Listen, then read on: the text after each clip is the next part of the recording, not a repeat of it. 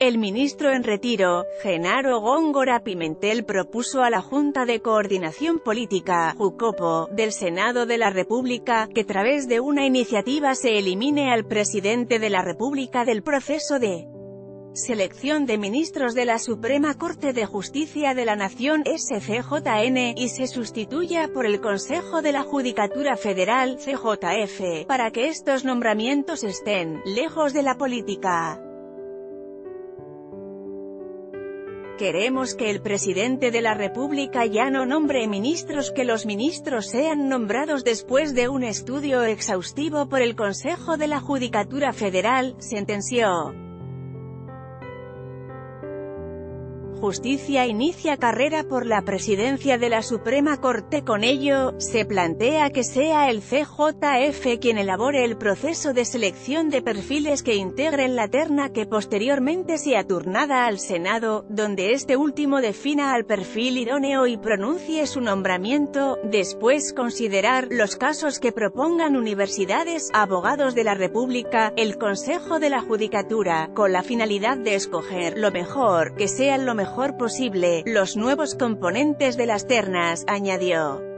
Además, Góngora Pimentel, fundador de la Asociación México Justo, dijo que el Poder Judicial requiere de una reforma en la que el presidente de la Suprema Corte ya no sea presidente del Consejo, pues dijo, es un problema, tener que manejar ambos cargos.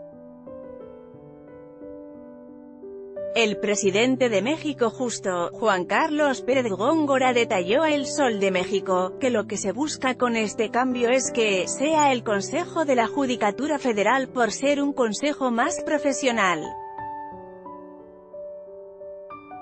También, Pérez Góngora subrayó que esta iniciativa es algo similar a la iniciativa que propuso la ahora titular de la Secretaría de Gobernación, Olga Sánchez Cordero en los estados, en el sentido, en el que decía que sea el Consejo de la Judicatura el órgano que nombre a los jueces. Asimismo, a la salida de su reunión con los senadores indicó que, las razones son muchas por las cuales hay que cambiar la estructura, ya que dijo, el Consejo de la Judicatura Federal no está haciendo su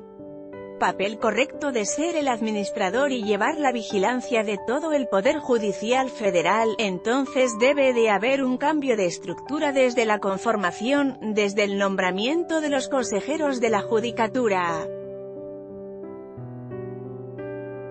Justicia inicia carrera por la presidencia de la Suprema Corte Sociedad PAN arranca jornada de volanteo por la defensa de México Política demandan a ML o no poner a un amigo en la Corte.